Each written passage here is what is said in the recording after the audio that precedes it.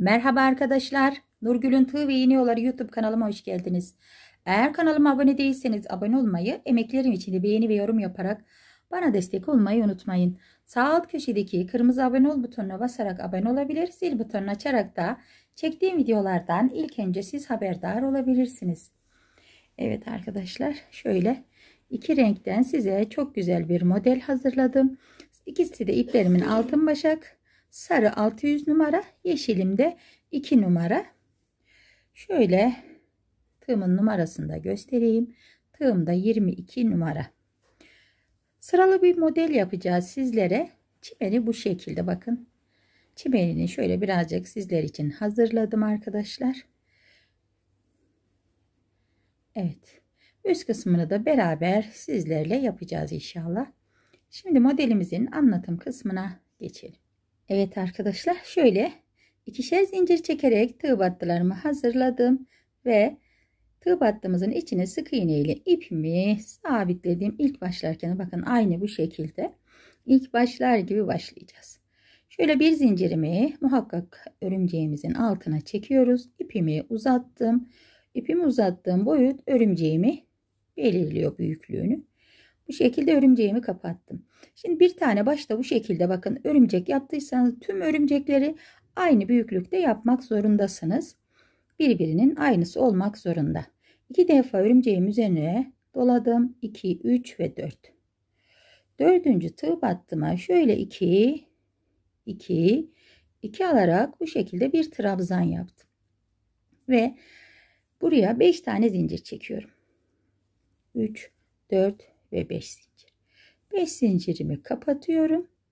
Bu şekilde buraya bir kirpik yaptık. Geriye kalan kısma sık iğne yapıyorum. 1 2 3 ve 4.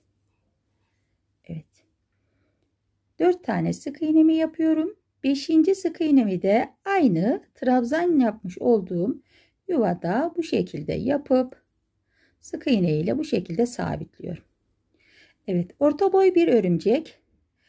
Trabzan 3 seferde aldığım trabzan ve tepesine 5 tane zincirden oluşan tomurcuk 5. sık iğneyi de tığ battının içine kapatarak bu şekilde 5 tane sık iğne yaptık.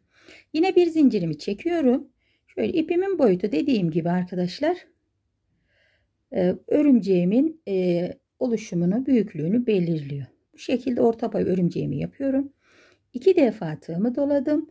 1 2 3 dördüncü tığ battıya 2 2 2 3 seferde aldığım trabzan ve tepesine 5 tane zincir çekiyorum.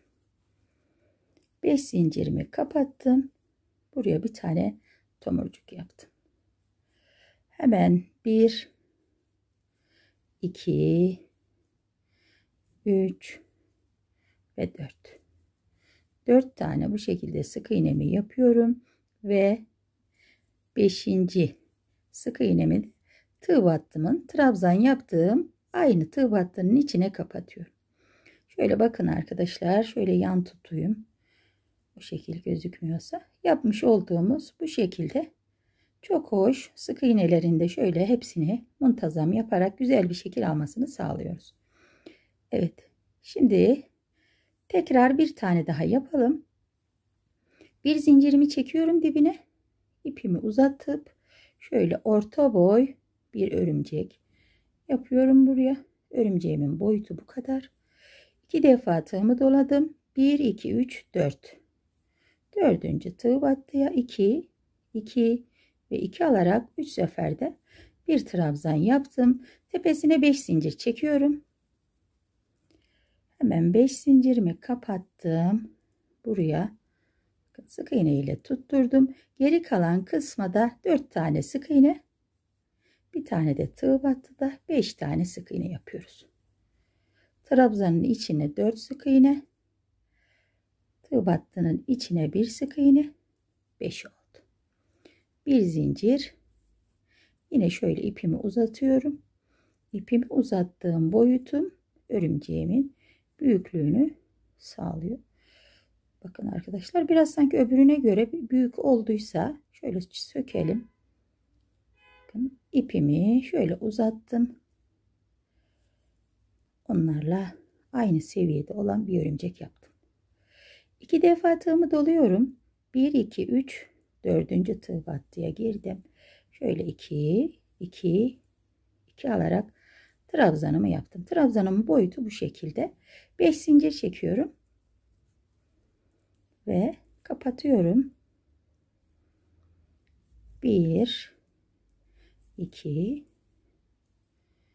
3 4 ve 5 beşinci yuvada yine dibine bir zincir çekiyorum şöyle anlaşıldığına göre yapabiliriz. İki defa doladım. 1 2 3 dördüncüye. Bu şekilde 2 2 2 alarak trabzanı yaptım. 5 zincir. 5 zincirimi kapatıyorum trabzanımı şöyle bir. Şöyle 2 şöyle 3 ve 4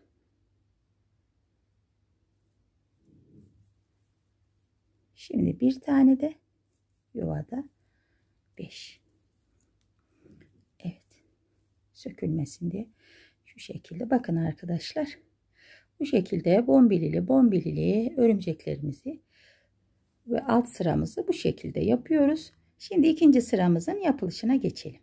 Bu şekilde ipimi tığıma tutturdum. iki zincir çekerek bu 5 zincirden yapmış olduğumuz tomurcuğumuzun içine sık iğne ile ipimi sabitliyorum.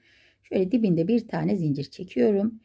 İpimi yine aynı büyüklükte arkadaşlar şöyle yapıyorum. Şimdi bir defa tığımı doladım ve bu ikinci yanındaki 5 zincirli yuvaya girip 2 2 alarak trabzan yaptım. Bir defa tığımı doluyorum. Yuvaya girip 2 2 alarak buraya toplamda 5 tane trabzan yapacağım. Bir defa tığımı doladım. Yuvaya girdim. 2 ve 2 3 oldu. Bir defa tığımı doluyorum. Yuvaya girip şöyle 2 2 alıyorum. Bir defa tığımı doluyorum. Bu yeşil yuvanın içine girip şöyle 2 2 alarak bakın buraya 5 tane ikili trabzan yaptım. 8 tane zincir çekiyorum. 6 7 ve 8 ters çevirdim. Bu yapmış olduğum ilk trabzanın tepe noktasından bakın örümceğime değil trabzanıma 8 zincirimi kapatıyorum. Şöyle düz tarafına dönüp dibine bir tane sık iğne yapıyorum. Evet. Şimdi buraya 1 2 3 ve 4 tane zincir çektim. 2 defa tığımı doluyorum. Hemen yuvaya girip şöyle 2 2 2 alarak trabzan yaptım. Şöyle yaklaştırayım trabzanıma. Yine 2 defa tığımı doladım. Yuvaya giriyorum. 2 2 ve 2 2 defa tığımı doluyorum. Şöyle baştaki 4 zincirimle beraber 4 tane trabzanım oldu. Hemen yine 3 tane çekiyorum. Başlarken 4, kapatırken 3 tane çekiyorum. Şöyle aşağı meyilli olduğu için bu şekilde bakın papatyanın ilk yaprağını yaptık. Yine 4 tane zincir çekiyorum. 2 defa tığımı doladım. Hemen bu 8 zincirli yuvanın içine ana yuvaya 2 2 alarak trabzanımı yaptım. 2 defa tığımı doladım. Yuvaya giriyorum. Şöyle 2 2 ve 2. 2 defa tığımı doladım. Yuvaya girdim. 2 2 ve 2 olarak bu şekilde trabzan yaptım. 1 2 ve 3 tane zincirimi çekiyorum. Yuvaya girdim. Kapattım. 1 2 3 4 zincir. Şöyle bakın yapraklarımızın sıkı sıkı aldığımız için trabzanlarımız çok güzel duruyor arkadaşlar. Şimdi buraya bir tane daha yapalım. İki defa tığımı doladım. Yuvaya girdim. 2 2 ve 2. 2 defa tığımı doluyorum. Yuvaya girdim. Şöyle 2, şöyle 2, şöyle 2. 2 defa tığımı doladım. Yuvaya girdim. 2 2 ve 2. 4 tane bu şekilde trabzan yapıyorum. 1, 2 ve 3 tane zincir çekiyorum. Ana yuvanın içine girip sabitliyorum. Bu şekilde yapraklarımız oluştu. Çok güzel oldu. Bu tarz 2-2 alarak sıkı sıkı alırsanız böyle gerçek papatya yaprağı gibi çok güzel yapraklarınız olur. Her zamanki gibi örümcekten önce muhakkak bir zinciri dibine çekiyorum. Şöyle orta boy bir yapra şey örümcek yapıyorum arkadaşlar ve buradaki 5 zincirimin içine kapatıyorum. Bu geçiş köprüm olacak. Bakın bunları bu geçiş örümceklerine göre örümceklerinizin büyüklüğünü ayarlayabilirsiniz. Yine dibine muhakkak bir zinciri çekiyorum. Şöyle ipimi uzattım. Hemen yine orta boy bir örümceğimi yaptım. Şöyle bakın arkadaşlar ne büyük ne küçük orta boy örümceğimizle bir defa doladım. Şimdi çiçek yapacağız. Orada bir, bir tane böyle çubuk bırakıyorum. İkinciye trabzan olarak bu şekilde kapatıyorum. Şimdi yine aynısından buraya yapacağız. 5 tane trabzan ikili trabzanımız olacak arkadaşlar. Şöyle bir defa tığımı e, doluyorum. Yeşil yuvaya girip 2 2 olarak aldım. Bir defa tığımı doladım. Yeşil yuvaya girip 2 2 olarak aldım. 3 oldu. Şöyle 2 ve 2. Bir defa tığımı doluyorum. Hemen 5. trabzanımı 2 2 alarak buraya yaptım. 8 tane zincir çekiyorum. 1 2 3 4 5 6 7 ve 8. Şöyle çeviriyorum. Bakın buradaki örümceğime değil trabzanımın tepe noktasına bu şekilde girip sabitliyorum. Hemen döndüm düz tarafına. Dibine şöyle bir tane sık iğne yapıyorum. Bu şekilde papatyalar daha güzel duruyor arkadaşlar. 4 tane zincir çekiyorum. 2 defa tığımı doladım ve yuvaya giriyorum. Şöyle 2 2 2 alarak trabzan yapıyorum. Bakın sıkı sıkı trabzanlarımı hiç boşluk bırakmadan aldım. Yine iki defa doladım. Şöyle yaklaştırayım yaptığım trabzanı. 2 2 ve 2. Şöyle dibine çekin, oturtturun arkadaşlar. Yakın dursun zincirinize. 2 defa tığımı doladım. Hemen yuvaya giriyorum.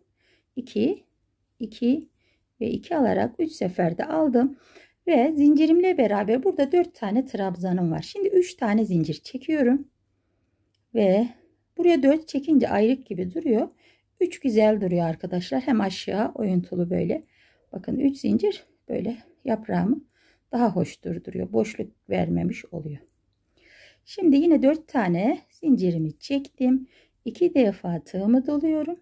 Aynı yuvaya şöyle 2 2 2 alarak şu sıkı sıkı trabzan yaptım. 2 defa tığımı doladım. Yuvanın içine giriyorum. 2 2 2 3 oldu.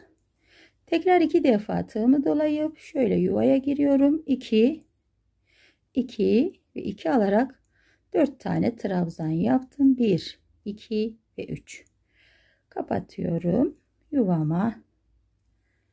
Tekrar 1 2 3 4 tane zincir çektim. Şöyle üçüncü yaprağım için kenara alıyorum. Buraya da bu şekilde 5 tane trabzan yapacağız. 2 defa tığımı doladım. Yuvama giriyorum. Şöyle 2, şöyle 2 ve şöyle 2. 2 defa tığımı doladım. Yuvaya giriyorum. 2, 2 ve 2. 2 defa tığımı doladım.